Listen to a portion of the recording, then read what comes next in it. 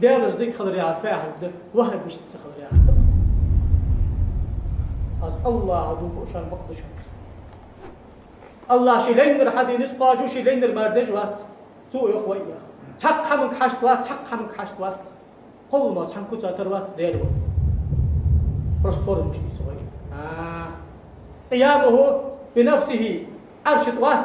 ودار اسم عرش مكتك آبایی کل فوق بات بعد. أقوى حتى ودش حوجه صداخش وضحك للشغل جبه просто يقيت تحت الفرن ده في القرآن شو حديث هذا عقيدة تحت أدوسر طيب مرة قيت عقيدة تحت أدوسر أصحاب الجليل عقيدة تحت أدوسر خلف الصالحين عقيدة تحت أدوسر Но появились люди, которые начали говорить, понимаете ли, Бог, оказывается, сидит, у него есть пальцы, руки, но глаз, глаза там, там он ходит, спускается, поднимается, там у него есть что-то, что-то, трон есть, табуретки есть.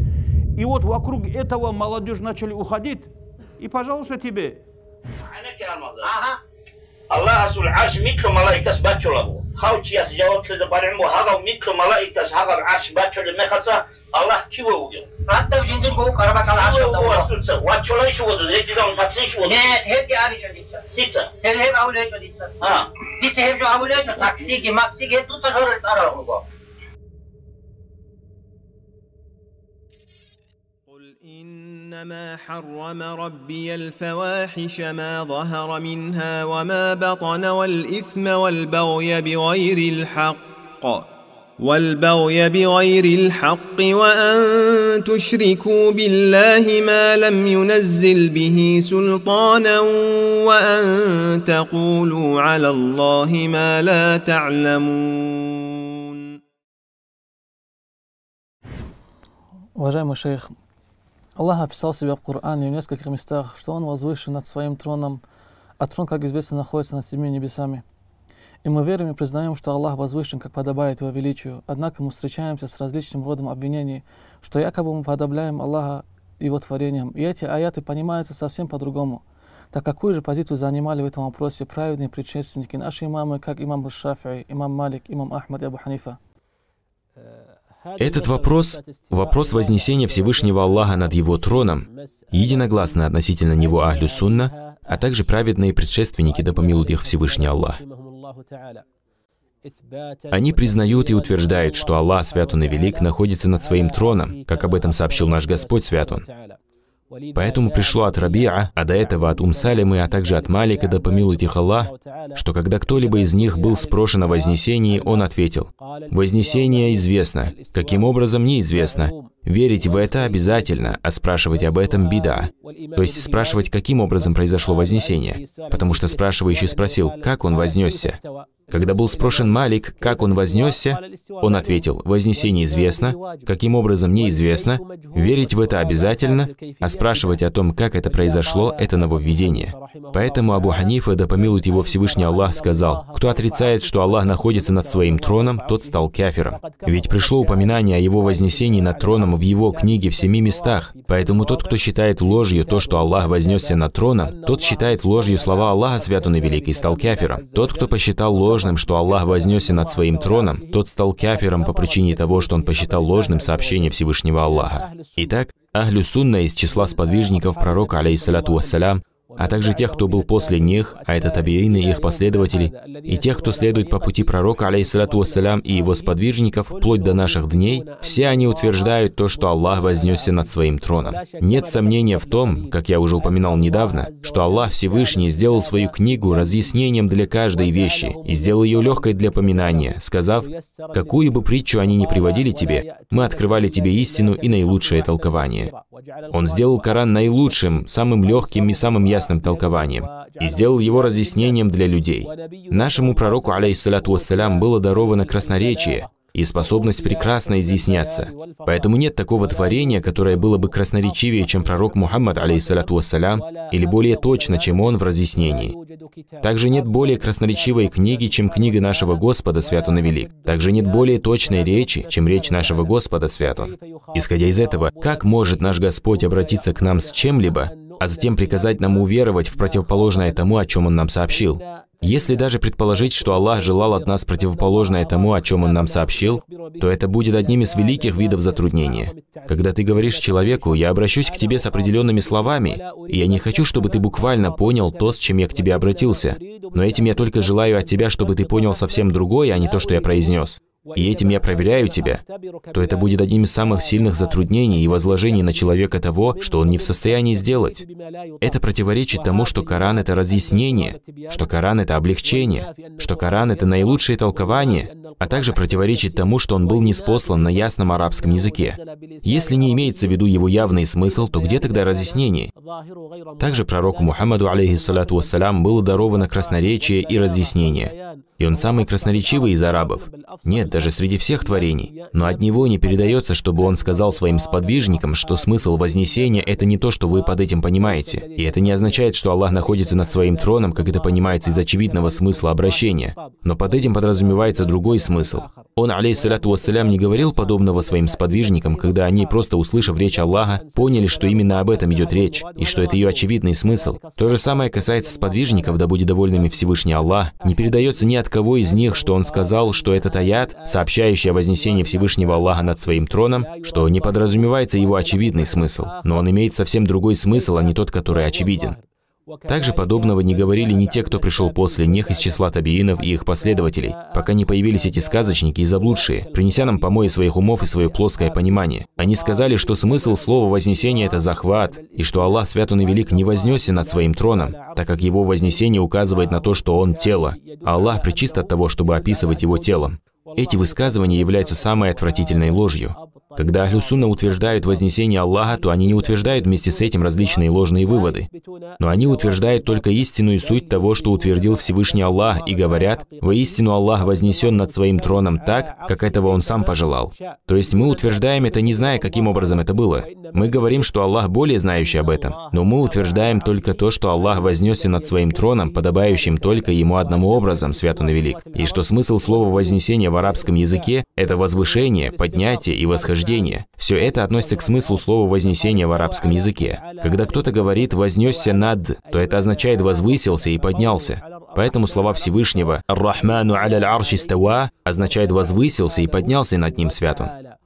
Мусульмане единогласны в этом. И из них сподвижники пророка, алейхиссалату вассалям. После них имамы табиинов, а после табиинов их последователи четыре имама. Абу Ханифа, Малик, Шафии и Ахмад, а также имамы из числа Ахлюль-Хадис, такие как Аш-Ша'би, Суфьян Thаури, Суфьян ибн Уяйна, Хаммад ибн Салама, Хаммад ибн Зейд, Язид ибн Харун, Яхья ибн Саид аль-Каттан и все имамы мусульман, жившие в наилучшие столетия. Все они на мнении, что Аллах вознесся над своим троном так, как подобает Его величию, и что Его вознесение — это Его поднятие и возвышение над Его троном, и что трон — это царское ложе. А затем уже пришли муатазилиты и джахмиты, а также подобные машариты и матуридиты, и растолковали вознесение как завладевание.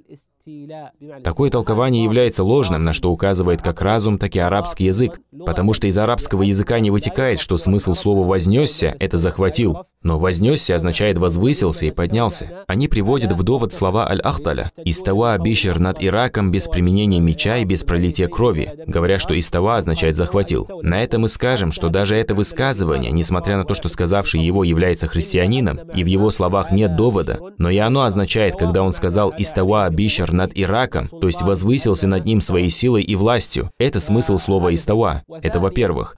Во-вторых, мы говорим, что даже если мы скажем, что «вознесся» означает «захватил», отсюда следует, что трон был не подвластен Аллаху Святому Велик и не принадлежал ему, пока он не захватил его после того, как сотворил небеса и землю.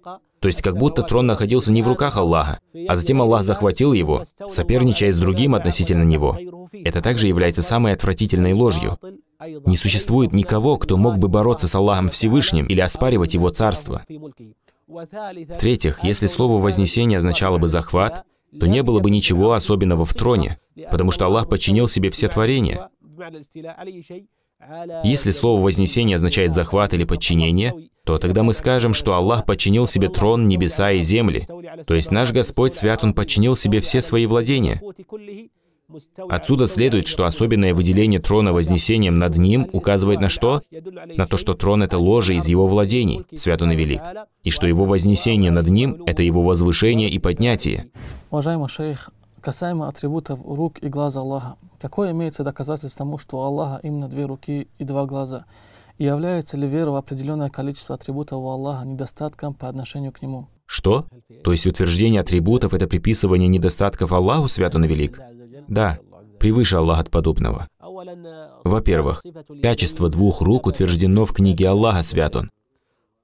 А также в сунне посланника Аллаха, алейхиссалату вассалям, пришли многочисленные хадисы, указывающие на это. Когда Всевышний Аллах упомянул Иблиса, он сказал, «Что помешало тебе пасть ниц перед тем, кого я сотворил своими обеими руками?» То есть мы видим, что Всевышний Аллах приписал себе наличие двух рук. Также пришло в многочисленных хадисах от пророка, алейхиссалату вассалям, что Аллах возьмет небеса своей правой рукой, а землю своей другой рукой, а небеса будут свернуты его правой рукой. То есть Аллах, свят он и велик, упомянул, что небеса будут свернуты его правой рукой, и что в его другой руке будут находиться земли. Также пришло, что Аллах простирает свои руки ночью, чтобы покаялся тот, кто совершил грехи днем. И Он простирает свои руки днем, чтобы покаялся тот, кто совершил грехи ночью. Поэтому аяты, пришедшие в книге Аллаха, и хадисы, указывающие на наличие качества двух рук у Аллаха Всевышнего, многочисленны. Также праведные предшественники, да помилует их Всевышний Аллах, были единогласны в том, что у Аллаха, свят он и велик, есть две руки, достойные своим образом Его величию. Что касается упоминания в Коране рук Аллаха во множественном числе, что из того, что совершили наши руки, то имеется в виду две руки, потому что в арабском языке минимальное количество множественного числа – это два. То же самое касается глаз Аллаха, то есть утверждение Всевышнему Аллаху глаз. Пришло в Сахихе Аль-Бухари со слов Ибн Умара, да будет доволен Всевышний Аллах, что пророк, алейхиссалату вассалям, сказал, «Воистину, ваш Господь не является одноглазым. Одноглазый – это тот, у которого только один глаз, что является доказательством утверждения Аллаху Святу на Велик качества двух глаз. В хадисе Ибн Умара, да будет доволен им Всевышний Аллах, который приводится в Сахихе, сообщается, что пророк, алейхиссалату вассалям, сказал, «Воистину ваш Господь не является одноглазым, но одноглазым будет Даджаль». Его слова «воистину ваш Господь не является одноглазым» указывают на то, что у него свят он два глаза, так как одноглазый – это тот, у которого только один глаз. Ахлюсуна единогласны в том, что у нашего Господа, свят он велик, два глаза, которыми Он Всевышний смотрит и видит, свят он и возвышен.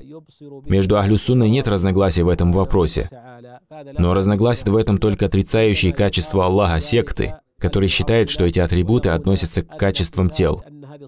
Они якобы очищают Аллаха от этого, возводя тем самым на него ложь. Напротив, утверждение качеств – это утверждение совершенства Аллаха, свят он и велик. Когда они сказали, что утверждение качеств приводит к уподоблению и к приписанию Аллаху тела, они ушли от уподобления Всевышнего Аллаха Его творением и уподобили Его небытию и чему-то неживому. Нет сомнения в том, что уподобление Аллаха существующим творением лучше, чем уподобление небытию. А что касается нас, то мы не уподобляем его ни творением, ни небытию. Напротив, мы утверждаем в отношении Него то, что Он утвердил в отношении самого себя, и что утвердил в отношении Него Его посланник, алейхиссалату вассалям. Мы говорим то же, что сказал Аллах и что сказал пророк Мухаммад. Воистину, у него есть два глаза и у него есть две руки, свят и велик. И мы не переходим в этом за пределы того, что пришло в Коране и Сунне. А что касается их заявления о том, что это приводит к принижению Аллаха, свят он и велик, то мы скажем, что напротив, принижение – это когда Аллах лишает его качеств, которыми он описал сам себя. Единобожник говорит то же, что говорит Аллах, свят он и велик, а отрицающий атрибуты говорит то, что говорят его прихоть и его шайтан. Мы говорим, что Аллах возьмет небеса своей правой рукой, и что у Аллаха есть правая рука, так как сказал Всевышний, его обе руки простерты. Поэтому мы говорим, что он имеет две распростертые руки. Также пророк, алейхиссалату вассалям, сообщил, что Аллах свернет небеса своей правой рукой, а земли своей другой рукой. Все это является достоверным. Мы говорим то, что сказал Аллах и его посланник, алейхиссалату вассалям, и приписываем Аллаху только то, что он приписал себе сам, и что приписал ему его посланник. А что касается вас, о отрицающие и искажающие, то ведь вы лишили Аллаха святу на велик того, что он приписал себе сам, и что приписал ему посланник Аллаха, алейхиссалату вассалям. Кто более следует за пророком Мухаммадом, алейхиссалату вассалям, тот, кто говорит то, что сказал Аллах и его посланник, алейхиссалату вассалям, или тот, кто искажает то, что сказал Аллах и его посланник, саллаху алейхи вассалям.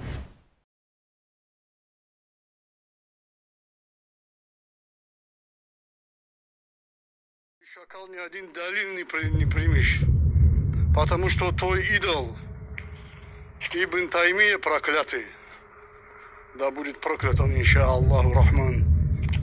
И твой божок идол, которого ты видишь, который летит туда-сюда жесть, и которому ты поклоняешься.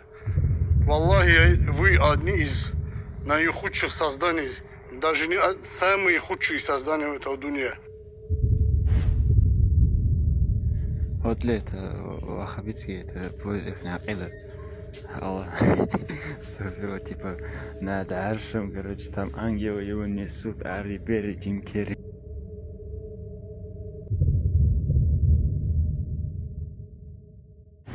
Поэтому мы скажем этому нашему брату, который переживает,